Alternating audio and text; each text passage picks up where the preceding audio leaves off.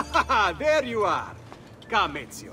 I'd like to introduce you to an uh, associate. This is Agostino Barbarigo, soon to be Doge of Venezia, thanks to you.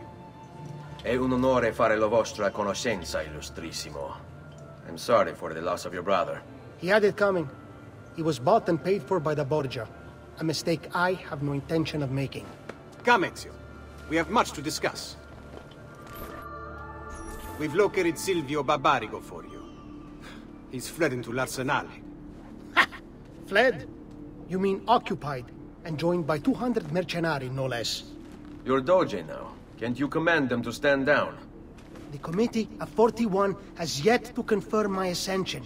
And this little stunt of Silvio's has only made things worse. He has an entire army at his command. Then help me to raise my own. I figured you'd say as much. Bartolomeo d'Alviano is the man you seek. He and his men have little love for Silvio.